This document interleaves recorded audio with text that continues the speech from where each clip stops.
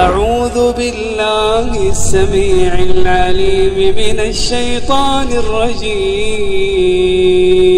بسم اللہ الرحمن الرحیم اسلامک ورلڈ ٹی وی کے دوستو، السلام علیکم.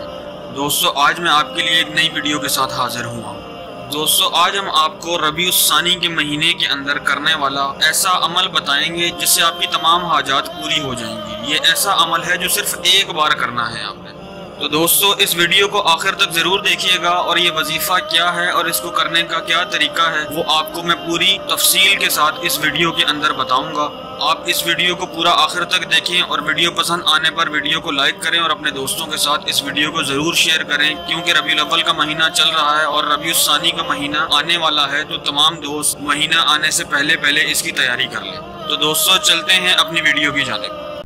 لیکن اس سے پہلے ہمارے چینل کے سبسکرائب بٹن پر کلک کریں اور بیل آئیکن پر ضرور کلک کریں تاکہ ہر آنے والی نئی ویڈیو کا نوٹیفیکیشن آپ کو ملتا رہے۔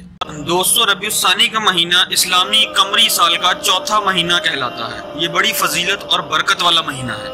اس مہینے کو کچھ لوگ ربیع الثانی کے بجائے ربیع الاخر بھی کہتے ہیں۔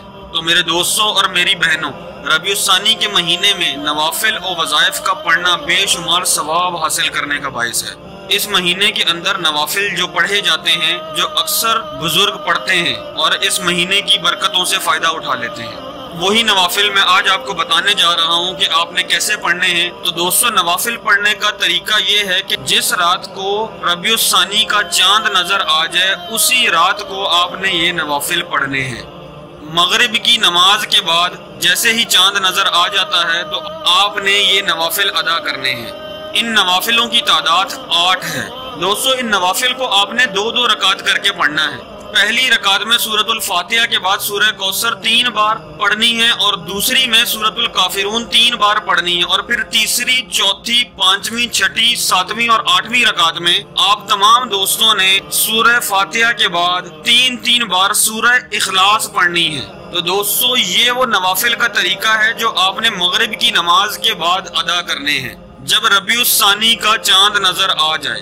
دوستو، ان نوافل کو پڑھنے کے بے شمار فائدے ہیں اور بے شمار نمازوں کا اجر اللہ تعالیٰ آپ کو عطا کریں گے۔ دوستو، یہ ایسا عمل ہے جو ایک بار ہی آپ نے کرنا ہے، جب چاند نظر آئے گا، بس اسی دن، ایک دن آپ نے یہ عمل کرنا ہے۔ انشاءاللہ ہر مشکل آپ کی آسان ہو جائے گی اور ہر دلی تمنا پوری ہوگی۔ یہ ایسا عمل ہے جو آپ کی ہر جائز حاجت اور مراد کو پورا کر دیتا ہے۔ دوستو، یہ وہ طریقہ کار تھا کہ آپ نے کس طرح نوافل ادا کرنے ہیں۔ تو اس ویڈیو کو زیادہ سے زیادہ پھیلائیں، اپنے دوستوں کے ساتھ زیادہ سے زیادہ اس کو شیئر کریں۔